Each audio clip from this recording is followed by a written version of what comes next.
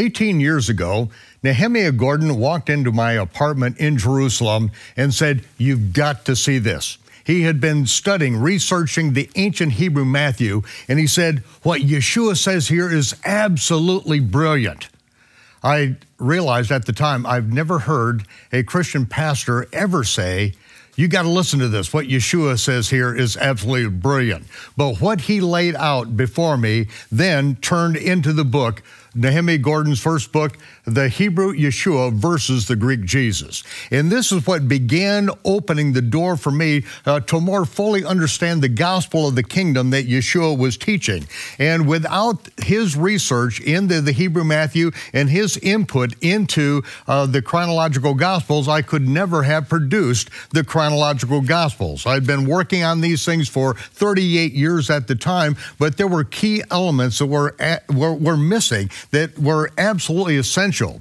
And so it was seven years after that date that Nehemia walked into my office in Charlotte, North Carolina. And he began telling me the story about what he was referring to as the Smithfield Revival, something that happened to him. And this was just before Shavuot, and that turned into what became the Open Door series, a prayer to our Father, which is uh, the first in this series that was done at Shavuot that year. And then at Yom Teruah, proclaim the name, and then finally, at Hanukkah that year, Stand Against the Ban. And that's when we joined Nehemia Gordon in standing against the ban, against the name, a ban that the rabbis put in place. And what became of that is over a thousand ancient Hebrew manuscripts with the name, with all the vowel pointings. And ladies and gentlemen, we, we have Nehemia back here again. Seven years later, this is after we, we've done several things. Ladies and gentlemen, Nehemia Gordon. Nehemia, it's great to have you here. So, Mike, it's great to be back here. You know, we had a, a conversation uh, uh, last year. I called you up at the beginning of 2018 and I said, Michael, we've been searching these Hebrew manuscripts for the name Yehovah with the full vowels, and we now have access to more manuscripts than I ever thought I would have access to in my entire life. Uh, one of the things that happened in the last really two, around two years is there's been a worldwide push to digitize all these manuscripts, put them online. And just to give you some context, uh, I uh, had found two manuscripts with those vowels back in 2001. And then over the years, I found a third and then a fourth. And then in the uh, summer of, uh, I believe it was around 2015, I, I wanted to get a fifth. I had this burning desire in my heart to get a fifth and it required me to ultimately drive around the United States on an 8,000 mile circuit journey that led me to the Hebrew Union College in Cincinnati, which has one of the key Masoretic Bible manuscripts. And I went there so I could find manuscript number five. I didn't know what I would find. I didn't know if I would open that manuscript and see those full vowels of God's holy name, Yehovah, in Hebrew.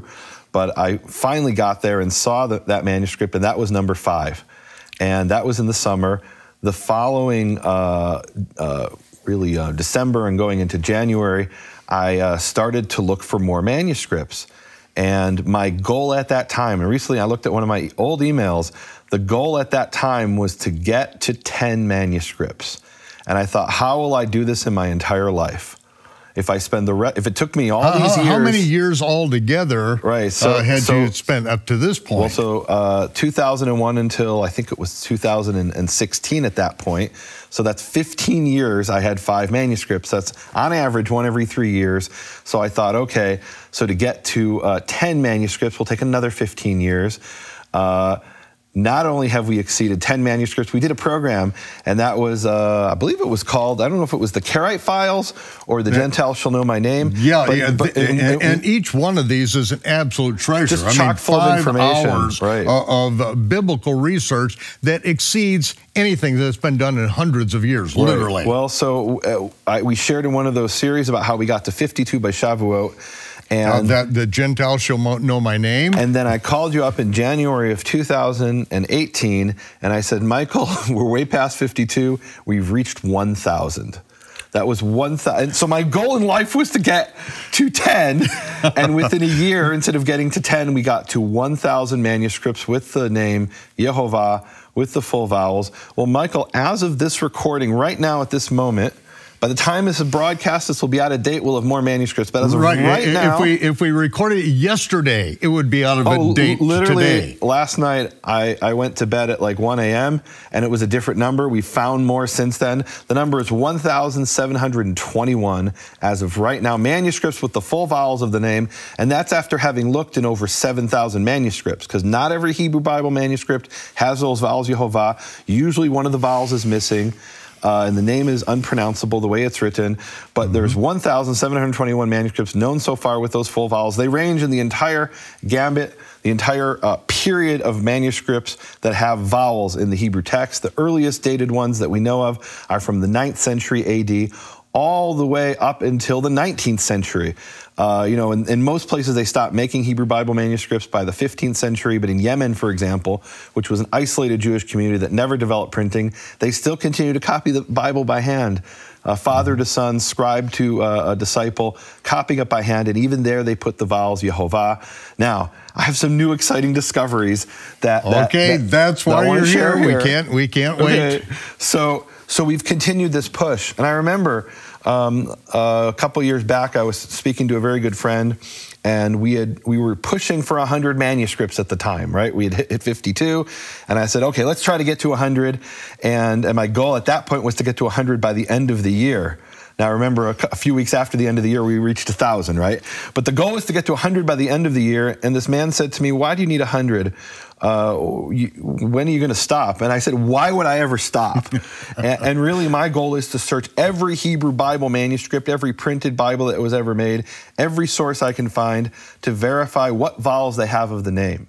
Mm-hmm. Um, now, uh, we because started. This this, uh, yeah. is, will lead us to the correct pronunciation of the name, which has been, you know, theorized you know, about. And look, Michael. I had, I had an experience, what I believe was a God experience in 2001. And that's, in a way, that was a really personal experience that it was very difficult for me to share with people. In my tradition, you don't you don't share that those kinds of things with people.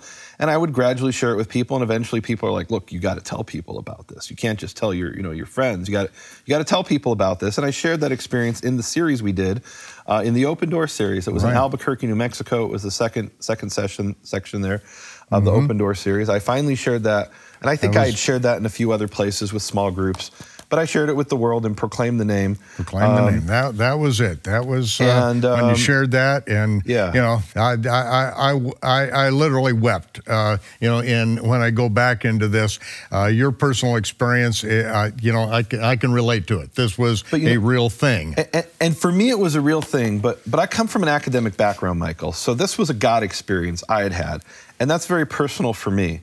But when I approach these types of things, I, I, I also need to just because of the way my, my Litvak brain is wired. And if you don't know what that is, guys, go watch the series, uh, uh, the Open Door series. My, my Litvak brain, the way it's wired, is that I have to put my personal beliefs aside and always uh, take a fresh approach and look at a question. And so when the man said to me, Why don't you stop when you reach 100? When will you ever stop? And I said, Why would I ever stop? What I was really asking is, Well, if I looked at 100 manuscripts and I found the vowels Yehovah, and let's say at that time that was out of 500 manuscripts, right? Uh-huh. Well, what if I looked at another 100 and found the vowels Yahweh or Yahuwah or some other set of vowels? Mm-hmm. I need to look at all the evidence that I possibly can to establish uh, what is it, at the very least, what did the Jewish scribes who transcribed the name, what did they believe the vowels to be? Mm-hmm. Right? Because look, here's what we can't do. We cannot go back in time and ask or listen in as, as uh, God is speaking to Moses from the burning bush. So I can't, so I can have my faith and believe, have beliefs about that. But what I can establish with solid factual evidence is the Jewish scribes who preserved the oracles of God throughout the ages, what did they believe the vowels to be? And they pretty consistently transcribed the vowels when they put in the full set of vowels as Yehovah. Now, there's some exceptions we found. We actually found a single manuscript, Michael, where there was different vowels and, uh, and I've shared some other minor variations in the past on your program, but we found this is a new discovery. Instead of Yehovah, we found one manuscript where it's Yehovah. Now, hmm. you can start an entire denomination and say the true name of the creator of the universe is Yehovah. But to be honest with you, that's one manuscript out of over 7,000. And even within that manuscript, it's only in one passage. I call that a scribal error. How do I know it's a scribal error? Because I have this massive bulk of evidence where in all the other manuscripts, 1,721, it's Yehovah. Mm-hmm. Uh, so that's important. Now, one of the things we started looking at, um, is, and then I want to give credit to T-Bone. T-Bone is this, this genius who, who who helps me with this research, and there's other people who do. I want to give credit to, to Dawn and John and other people who have, have really been pushing and helping with this research, looking through manuscripts. To uh, Ian and Nicole in New Zealand. We have people all around the world who are involved in this project, Michael, looking at manuscripts. Uh, Aaron in, in, in, Dallas, all kinds of people. Many of them are believers in Yeshua, incidentally. Um, and, and they just feel this calling to, um, to, to do this, to, to, mm-hmm. to help and do this. And, um, and, and so I want to give credit to T-Bone because one of the things he's really... Yeah, no, he, he won't even receive it because that's why you call him T-Bone because you, you're not even allowed to say his real name. Well, he, he's, he's a very humble person. Um, and he truly is a, a but, an incredible. But without him, I mean, this is thousands of manuscripts oh, oh. that that. So, uh, so, so, I can, you know, and I'm a very analytical reader. So when I sit down to examine a manuscript, I'm looking at every word and every jot and every tittle. And so for me to get through a 900 page manuscript, that's my the course of my entire career. We literally, guys. Uh, I don't know if we should be telling people this, but we we we were sitting at your kitchen table, Michael, and we asked T Bone. We had him on speakerphone. He said, T Bone we're, we're doing this research. I can't actually share what it's about because it's it's exciting oh, stuff. Right, right. But it will be revealed in due time. okay. Well, he said, T-Bone, we need an answer to this. This is a, a, a and I think it was a something like a 360 something page manuscript. And I said, T-Bone, can you go through and check for this one little, uh, almost like a jot and tittle. It was this one little symbol that could appear anywhere on the page, and and, and, and we're having the conversation the next morning at breakfast, and you're like, Do you think he's going to be done by the deadline? I said, Oh, no, no, you don't understand. He's done. He stayed up till 3:30 in the morning and went through a 360 plus page manuscript and looked at every jot and tittle and he found this thing that we were looking for. And now we can actually begin to have a definitive answer to certain questions that in the past it was like good luck with that right? Get a team, right. get a team of PhDs and professors, and they and they still would spend their entire career. And T-Bone went through and found this thing in one night. So one of the things he's pushing for, and I really want to give him credit, is he's coming from a very similar perspective as you, Michael. And he says, I, Nehemia, you're looking at the Tanakh. I also want to look at the New Testament. T-Bone says, I have this burning desire to find the name of Yehovah in the New Testament if it's there. Mm-hmm. And so he was with me over the summer in Israel, and we start to look at these manuscripts, which we, we had discovered in these catalogs, but to actually be able to see them, it's not so simple. So we go to, the, we're sitting in the basement of the National Library of Israel, and we start pulling manuscript after manuscript. And I want to just share a little taste of what we found. Can I, can I do that? Please, please do. Okay. Uh, so, I, I, have to t- tell you, uh, folks, uh, before this, uh, this is going to take us a while. Uh, you know, in the hot tub, it was like four hours in the hot tub. At breakfast this morning, it was more than two hours. You're only going to get a little bit of this, but I'm going to have you at Passover this year. There is just so much that, that you've got in some of these uh, these Greek manuscripts. I'm not going to say any more about it right now, so, but so, there has been incredible things that we've been looking for hundreds of years, hundreds of years. Well, I personally haven't been looking at for hundreds of years, but but scholars have been looking at this topic really since the time of, for nearly 2,000 years. They've been been talking about it, and for 400 years for sure this has been an issue. So we're going to st- share stuff at Passover. You're going to give me a chance to share at Passover. Absolutely. Stuff that there's no way we have time to share in this in this coming series of, of Shabbat Night Live, but we can get into a lot more depth. Well, I got I got chills just like I did did at the breakfast table this morning. Uh, I, am really looking forward to this. I'm excited. So, I'm excited. Um, but here's just a little taste of what okay. we found. Now, I've talked in the series called The Lost Treasures of the Vatican about oh, Hebrew yeah, New Testament yeah. manuscripts. Some people misunderstood what I talked about. Guys, I want you to go back and look at that, watch the series. Some people were saying, How can Nehemia say this is the first century copy written by John himself? Uh, that's not what I said.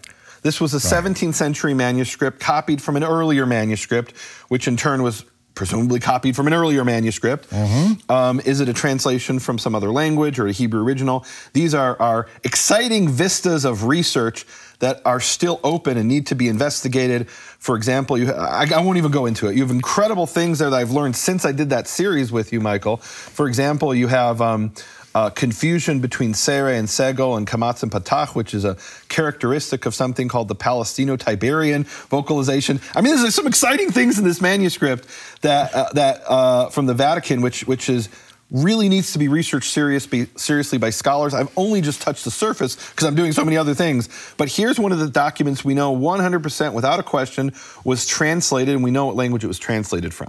Okay, so this okay. is a, a, manuscript that's never been shown before to the public. Uh, you would have to go to the National Library of Israel in the basement, and you, there you can see it in black and white, or you could go to Uppsala, which I want to say is in Sweden uh, Uppsala University, and there they have a unique manuscript. And I uh, got there, you know, wrote to them and contacted them and got them to produce for me a color photograph, which we're showing here for the first time. Okay, this is so. It. This is a color photograph of a manuscript of the Gospel of Matthew in Hebrew, and we know for a fact it was translated. We know what it was translated from and by whom. So this is not a Hebrew original. But okay. this is a translation into Hebrew, but we can still learn some incredible things from this manuscript about the translator and about the Jews of this period, and I think even about the Gospels. So it says Matthew chapter 3, translated by a man named Johann Kemper. Now, Johann Kemper of Uppsala, Sweden, he was not uh, born Johann Kemper. He was born Moshe of Krakow. He was a Jew who converted to Lutheranism, moved to Sweden, from Poland and decided, I want to bring my Jewish brothers along into this faith. And in order to do that, I need to translate the Gospels into Hebrew. Uh, he was not a Greek expert, so he translated the Gospels from Syriac. Hmm. Syriac is a dialect of Aramaic. The Peshitta, you know about it well, right. Michael. Mm-hmm.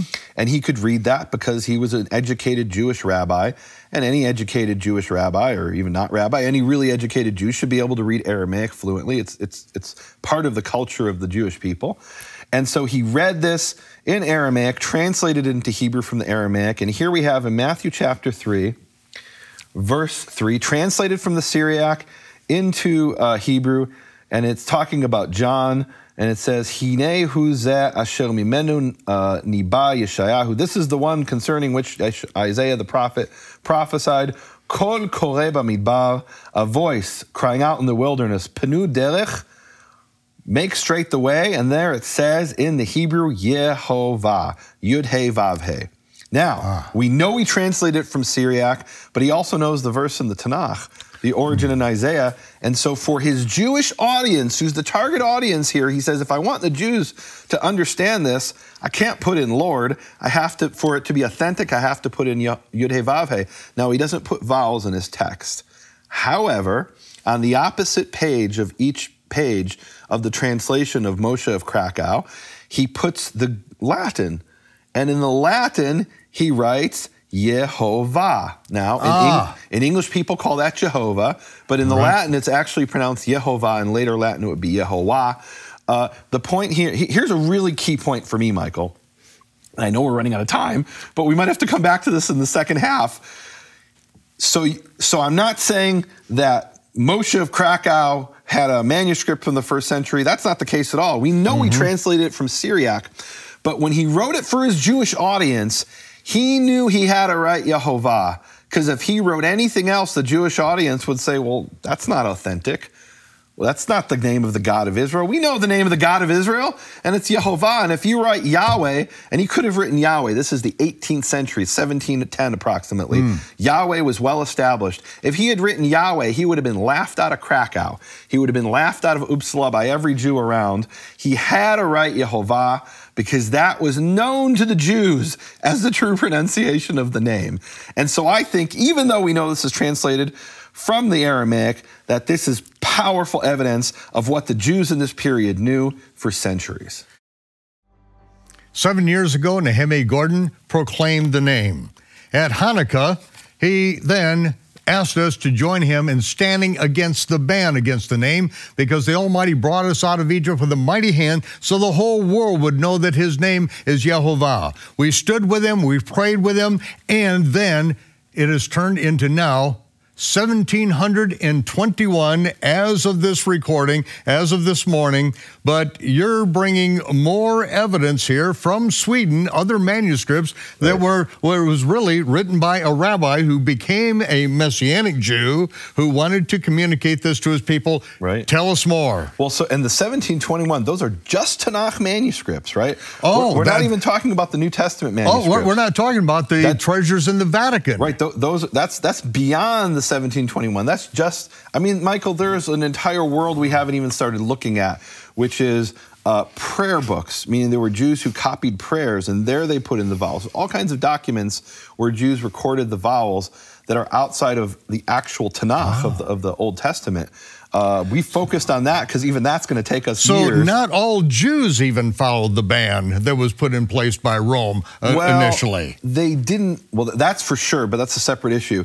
Meaning these rabbis who are writing the name Yehovah with those vowels, they don't pronounce it that way meaning it's this is, this is really interesting um, and i can't get into all of it right now but basically we have all these rabbinical sources. I did a teaching on my website nehemiaswall.com it's called 10 rabbis speak out on the name or something like that. Mm-hmm. and i show that there's 10 rabbis and by the way as of today we have 19 19 okay. rabbis who explicitly tell us the vowels are yehovah.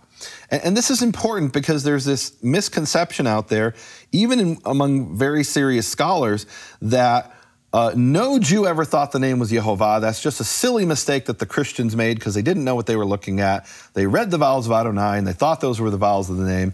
And I've demonstrated that there are um, at least 10 rabbis, and now, like I said, I have 19, and I'm going to eventually share those publicly, um, who say the vowels of the name are Yehovah. And the point is when these, uh, uh, when Moshe of Krakow was writing this New Testament for his Jewish audience, he has to put in Yehovah as the pronunciation, otherwise they'll laugh him out of the synagogue. They'll they won't listen to anything he has to say. I don't know if they listen to him anyway, right?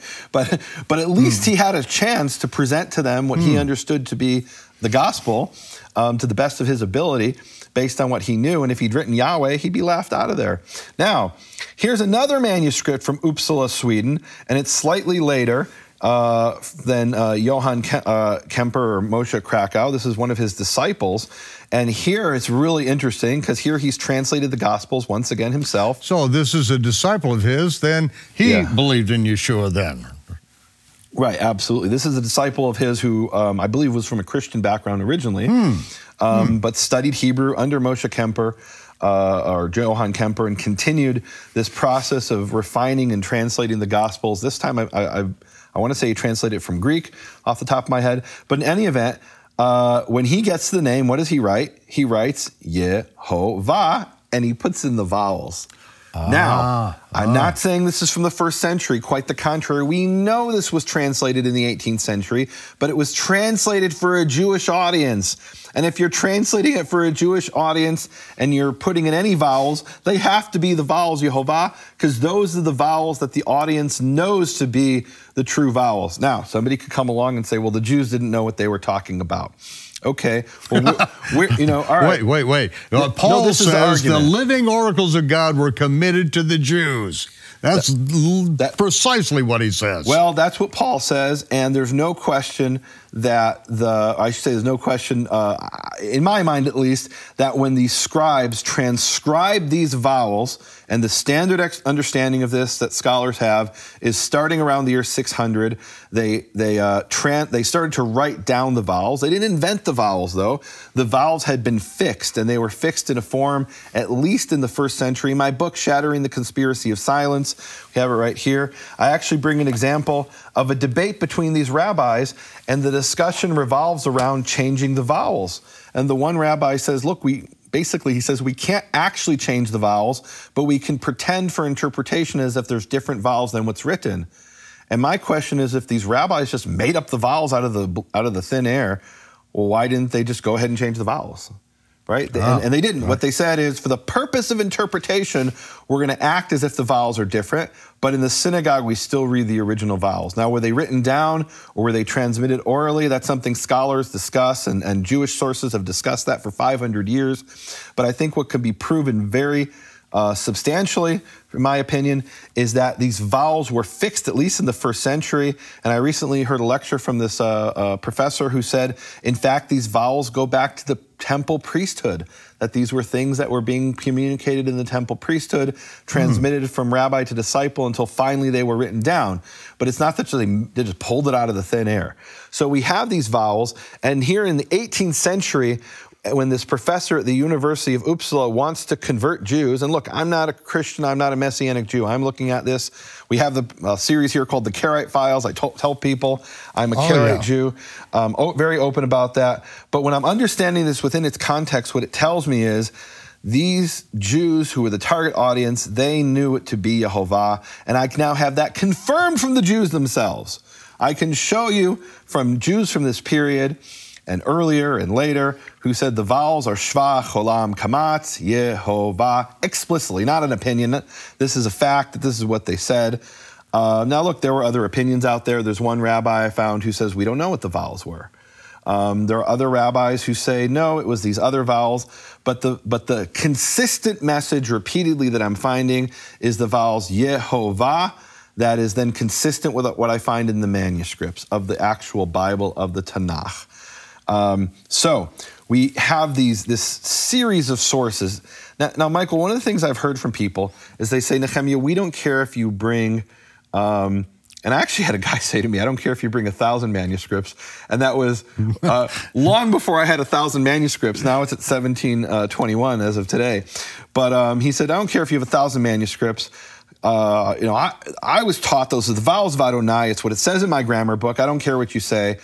Um, and, and, we don't even trust the vowels of those Jews anyway. That's one of the arguments I've heard. Mm. Uh, and I want to address that. I don't think we're going to get to that this time because I want to share another type of manuscript that we recently discovered.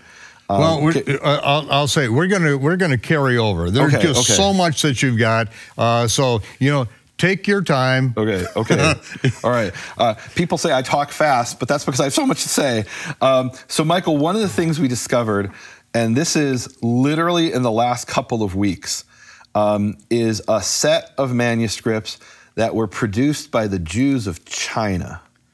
A thousand years ago, these Jews uh, who were Jewish um, uh, merchants came on the Silk Road, arrived in China, and asked for permission from the Emperor of China to settle in China so they could uh, carry out this trade. And one of the major trade routes of the Jewish world was from uh, what today is Syria through Iraq, Iran, Afghanistan, into China. In fact, some of the earliest post Dead Sea Scroll manuscripts that have been discovered in, with Hebrew characters are were found in Afghanistan in Western China. Uh, like most people don't realize that Jewish manuscripts with Hebrew characters in Afghanistan because this was the international trade route, and you had Jewish communities all along the route. Now, some you, you spent some time in China. So I spent a year in China, and one of my goals in China was to visit the one surviving community of Jews in a city called Kaifeng. Kaifeng is this community in China that at one time, during the period of what was called the Northern Song Dynasty, was the capital of China in the 12th and 13th century. By that time, the Jews had been in China for two or three hundred years. Hmm. And one of the things they were given there in China, these Jews, is you know, Chinese is a language with over 20,000 characters. And we hear these Chinese words, or I should say, I hear these Chinese words, and there's all these words that literally sound the same, and even to the Chinese people, they sound the same. And the only way to distinguish the sound, the, the, the words, is by the character. Hmm. Hmm. So they could have a single syllable that audibly is identical with 60 different unrelated meanings, and and the way that distinguishes is the is the character. And I, I, remember in China, I would see people, they would say some word, and the other person wouldn't understand them, and they draw the word on their hand, right? They draw the character. Oh, so this is why okay. they have so many characters. So the Jews of China have seven, I believe it's seven characters that are unique to Jewish surnames. These characters are not used for anything else in the Chinese language, as far as I know. They were granted to the Chinese Jews by the emperor of China. And when you hear their and their name, I think is something like Lee, right? And you're like, oh, it's a common name like Bruce Lee. No, no, no. But Bruce Lee has a different character than the Chinese Jew. Hmm. Um, so I go to visit these Chinese Jews uh, when I was there in 2014, and I actually ended up meeting with two different groups of Jews. And I couldn't let the other group know I was meeting with the first group. And this is how I knew they were really Jews, because they don't talk to each other, right? You have, you have two communities, actually three communities, three communities of Jews, and they're not on speaking terms. It proves they're Jewish. Um, Michael, there's an old joke about a Jew who's stranded alone on a desert island and he's there for years on the desert island. And finally, he decides, I'm going to take some, uh, uh, you know, coconut trees, cut them down, and build myself a synagogue. But then he realizes, no, I have to build a second synagogue. And when they find him years later, they say, well, why did you need two synagogues? You're one guy. He said, the first one I go to every Shabbat. The second one I wouldn't be caught dead in. so it's, you know, so I mean, so in China yeah, they're doing that. They're it separate. proves they're a they, bunch of Jews. All right, so I go and I meet these Jews, and they show me these incredible monuments. These uh, it says in, in, the in the municipal museum there in the in the attic, hidden away, are these three monuments that were written, giving the history of the Chinese Jews, literally written in stone going back 500 years, talking about how they arrived a thousand years before, and they have these, you know, all kinds of history and hmm. very interesting things. What I didn't know at the time is that in 1850, sorry, 1751, a group of British people came to uh, uh, China and got in contact with the Jews of Kaifeng and said, "We want to buy some of your manuscripts," and they bought them. And this was important because oh. there's a lot of floods in Kaifeng. So most of the original manuscripts that were in Kaifeng have been destroyed by a series of floods. But the ones that were brought from London survived. They, they were brought to London? They were brought Kaifeng? to London. The first they were brought to Shanghai, and then from Shanghai they were purchased by uh, the society in London, a Bible society. And then in the 1920s, they were purchased from this London society by the Hebrew Union College in Cincinnati. Oh. Now, that was the place I went uh, to see um, uh, what's called HUC number one, which is one of the important manuscripts of the Tanakh from uh, which isn't from China, right? That's that's from uh, land of Israel or somewhere in that area from much earlier. These manuscripts are much later. They're from uh, approximately the 17th century, but they were copied by generation after generation by these Chinese Jews who over time had been cut off. They were cut off from the main population of Jews. They had these manuscripts of the Bible and they didn't even necessarily know what they were copying, but Chinese culture is really good at reproducing things. And that's because they have such a complicated language, uh, written language, so they have to be able to really be really good at reproducing things. So mm-hmm. they saw these Hebrew letters and characters and they reproduced them. And I can now pick up a Chinese Bible from the 17th century, produced by a Chinese Jew in Kaifeng, and I can read it like I'm reading an Israeli newspaper or like I'm reading a, a manuscript from a thousand years ago. It's, it's perfect Hebrew. Now, and, now when you when you visit yeah, them, yeah. Uh, are you speaking Hebrew to them? So one of the groups I spoke to in English, the other one I spoke through Chinese through an interpreter, but they were learning Hebrew and we could write in Hebrew and they could understand some of the written Hebrew and I could understand what they were writing in Hebrew, which is pretty cool.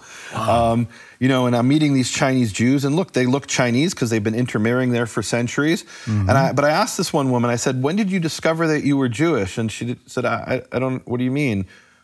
When I was two or three years old, my parents told me I was Jewish. Well, how did your parents know?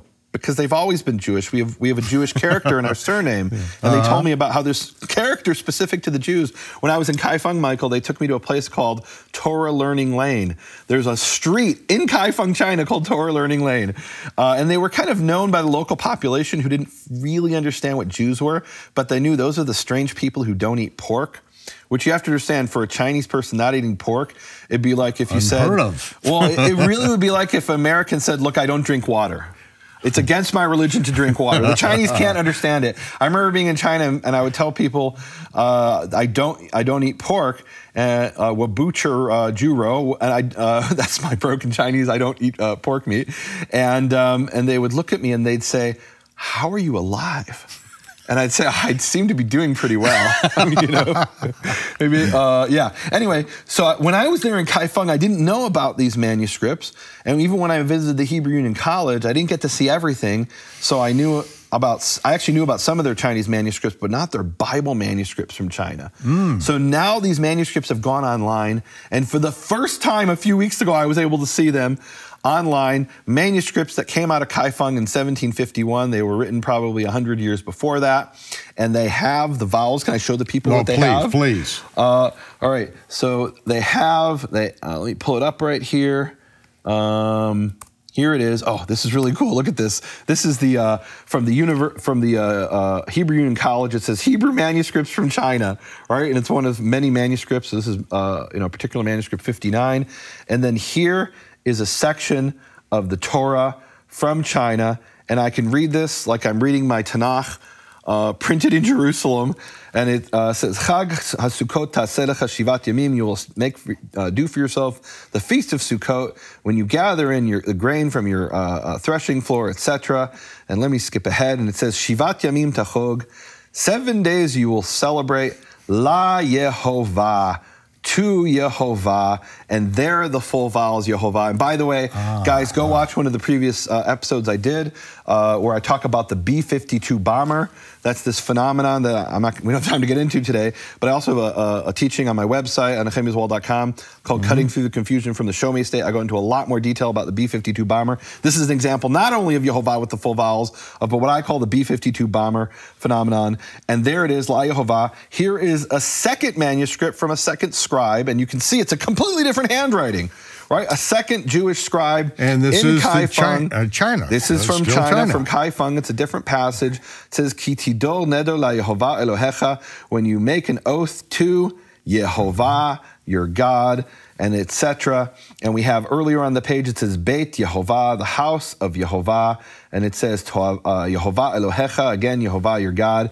Here, even in Kaifeng, maybe not even fully understanding what they were copying, but they were preserving much, I mean, they were cut off, right? So they only yeah. had the much earlier manuscripts they brought with them from Afghanistan and before that from Persia and eventually from the land of Israel as they migrated east these, these, these bands of Jewish merchants and eventually settling in China. They brought with them these Hebrew manuscripts and they copied them diligently. And I can read it perfectly, and it has the vowels Yehovah, even in China. This is within our, our included, included within our 1,721. And, and Michael, to me, and I want to get to this in a future episode if you'll allow me, but there's this prophecy that just burns in my heart. It's Malachi chapter 1, verse 11. And here, Michael, it's a fulfillment of the prophecy, this Chinese manuscript. Malachi 1:11. Let me read it to the people. It says, um, says here in Malachi 1:11. Uh, okay, let me pull it up. It says, from the rising of the sun. Let me read, can I read it in Hebrew? Please. It do. says here Please. in Hebrew, Kimi mizrach shemesh. For from the place of the rising of the sun, somebody say China, ve'ad mivo'o, until the place of its setting. Somebody say Europe at the time of, that, uh, right. of the known world. Gadol shmi bagoyim. My name is great among the nations. Ubechol makom muktar mugash lishmi. Umincha tehora. And in uh, every place Uh, this is really interesting, Mike. I'm going to say that for next time when we, when we talk about this. And it says again, Kikadol Shmi Bagoyim, for my name is great among the nations. Amar Yehovah Tzevaot, says Yehovah of hosts. There's this prophecy in Malachi. Malachi lived approximately in 400 BC, and he prophesied that God's name would be great from the rising of the sun to the place of its setting. And I could just imagine the people in Israel at the time of Malachi who heard this in Jerusalem, and in their limited understanding of the world, maybe they thought this meant the, you know, the rising of the sun, may, some, some places far away as, you know, maybe Babylon or Persia, which they were familiar with, and maybe as far away as Greece, which they had some vague knowledge of. They couldn't have imagined in their wildest dreams that what Malachi was talking about was the entire world, as far away as China, as far away as Iceland. We did a program about that in the Karaite files. We talked about finding Jehovah's name in Iceland yeah, with yeah. the full vowels and, and, and, his name being glorified there. And now the entire world, Malachi's words are true. Michael, we only have a very short time. Can you just briefly tell people about what I did to try to glorify Jehovah's name and spread this message. Well, uh, yeah, I, I, want you to come back next time and, and, and go into and we'll this tell them what it because oh, oh, because here it is. Uh, this is uh, from Denmark. It's this a, is it's a coin uh, from the 1640s from the King of Denmark, and it says on it, guys, it says Jehovah with the full vowels a fulfillment of the prophecy of Malachi. For years, I wanted this coin, and I contacted a mint in Utah and had them reproduce this coin as a silver round with one troy ounce of silver. And on the back of the coin, what did I put? The verse For Malachi in Hebrew, Gadol Shmi Bagoyim. My name is great among the nations. And guys, you won't believe the story behind this coin and the silver round of how it ties in to the very fabric of the history of the United States of America, and it's a fulfillment of biblical prophecy. We'll talk about Nehemia, that next time. Would you close with the Aaronic blessing, I will, Michael. the proper Aaronic blessing? Yehovah, thank you so much for giving me the opportunity to be here with Michael and share the fulfillment of the words of your prophecy. Yevarechecha Yehovah v'yishmerecha. Yehovah bless you and keep you. Ya'er Yehovah panav elecha. Yehovah shine his face towards you and be gracious towards you. Yisa Yehovah panav elecha. Yehovah lift his face towards you. V'yasem lecha shalom. And may he give you peace. May he give you shalom. Amen. Well, you've just begun the adventure. Ladies and gentlemen, join us again here next week for Shabbat Night Live. Shavua Tov. Have a good week, and we'll see you here then. Thanks, Nehemia. Thank